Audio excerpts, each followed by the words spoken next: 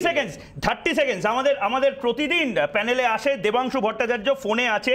দেবাংশু দেবাংশু ময়ূক বলছি স্টুডিও থেকে তুমি যদি শুনতে পাও। দেবাংশু এখানে শতরূপ তোমার সম্বন্ধে একটি সুরুচিকর নয় এমন কথা বলেছে যেখানে বলছে যে তুমি তুমি বারবার নাকি তুমি দরজার সামনে শুয়ে থাকবে, বসে থাকবে, এই কথাগুলো বলেছিল এবং তারপরে তোমার নাকি মুখ পুড়ছে। দেবাংশু, তুমি যদি তোমার একটা ছোট্ট প্রতিক্রিয়া দিতে চাও, যেহেতু তুমি জবাব চাই বাংলাতে প্রায় অনেক দিন এসছো, তাহলে আমরা শুনতে পারি সেটা। দেবাংশু। প্রথম কথা হচ্ছে, যে সময়ে দাঁড়িয়ে এই দলবদলগুলো ঘটছিল, সে সময় দাঁড়িয়ে আমার এই বক্তব্যটা। প্রথম কথা আমি তিরিশ সেকেন্ড বলছি, কেউ ইন্টারাপ্ট করবেন না।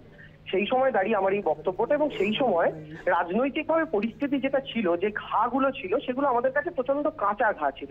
সেই দাগগুলো প্রচণ্ড কাঁচা ছিল। সেই সময় দাঁড়িয়ে যন্ত্রণার মধ্যে থেকে অবশ্যই আবেগে মানুষ কথা বলে, যে শতরূপ ঘোষ আপনার স্টুডিওতে বসে কথা বলছে সেই শতরূপ ঘোষের দল একসময় বলেছিল, গলি গলি মে চোর হ্যায়, রাজীব গান্ধী চোর হ্যায়, ইন্দিরা গান্ধী ডাইনি, ইত্যাদি বলার পরে তো কংগ্রেসের সাথে জোট করেছে। অধীর চৌধুরী পা ধরে বলেছে, ক্যামেরার সামনে যখন বুদ্ধদেব ভট্টাচার্যের সাথে মালা বদল করেছিল অধীর চৌধুরী, যে আমি ভুল করেছি, রাজীব গান্ধী চোর ছিল না। এক নম্বর কথা। দ্বিতীয় কথা, আমি কোথায় শুয়ে আছি, না আছি, এই নিয়ে বঙ্গ সিপিএম এর এত মাথা ব্যথা। আমি শতরূপটাকে শুধু বলতে চাই, তৃণমূল ভবন যেখানে আমার শোয়ার কথা ওটা কসবা বিধানসভায়।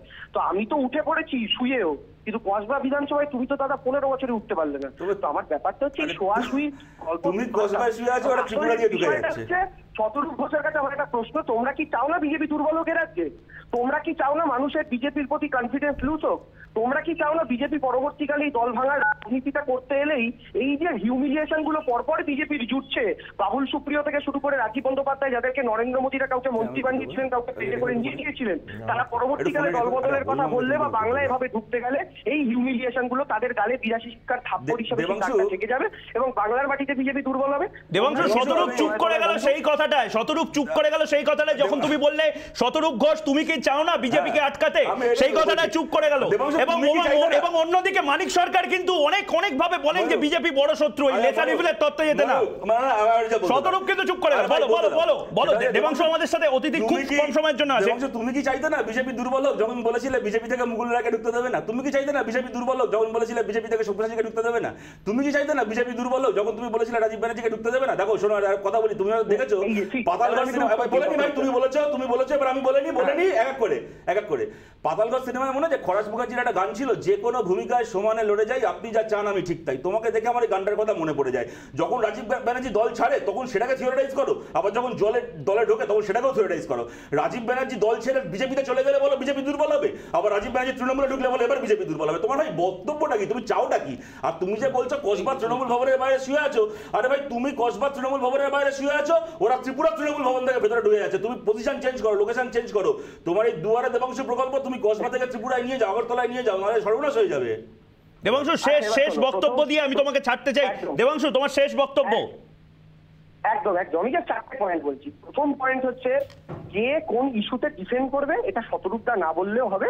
কারণ আইএসএস নিয়ে ইত্যাদি ইত্যাদি কত রকমের ডিফেন্ড করতে হয়েছে, সিপিএম আমরা দেখেছি, আমি এসব যাচ্ছি না। আমার পার্টি বক্তব্য শতরূপদা একটা কথা বলল, যে তোমাকে রাজীব ব্যানার্জি গেলে বিজেপি দুর্বল হবে, আবার এলেও বিজেপি দুর্বল মানে গেলে তৃণমূল দুর্বল হবে না, এলে বিজেপি দুর্বল হবে, এই যুক্তিটার মানে এই যুক্তিটার মানে খুব সহজ।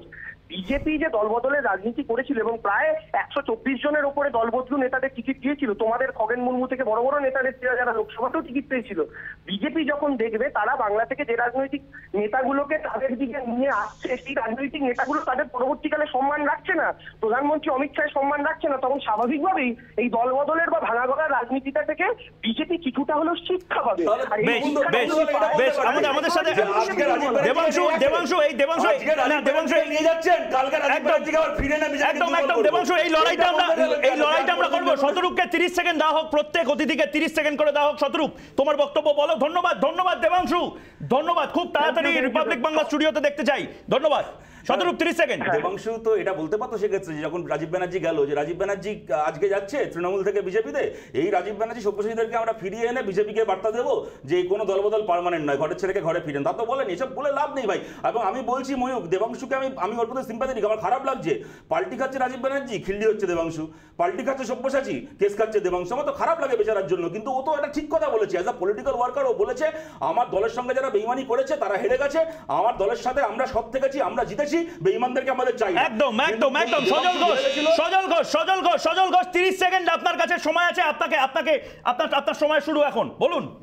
দেখুন এই যে আজকের যে দল বদল নিয়ে যে ব্যাপারটা আমি আগেও বলেছি এবং বলতে আমার আজও দ্বিধা নেই যে আমিও দল বদল করেছি জীবনে।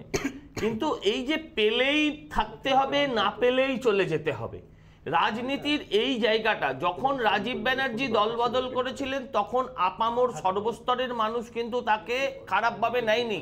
তৃণমূল কর্মীরা হয়তো দুঃখিত হয়েছিলেন কিন্তু পশ্চিমবঙ্গের মানুষ একটা পরিবর্তন চাইছিল। সেই পরিবর্তনকামী মানুষগুলো কিন্তু তাকে সমর্থন জানিয়েছিল। আজকে যখন আবার তিনি ফিরে যাচ্ছেন তাতে কিন্তু ওভারঅল সবার কাছেই ওনার ক্রেডেন্সিয়াল লস হচ্ছে। ওভারঅল সবার কাছে ক্রেডেন্সিয়াল লস হচ্ছিল।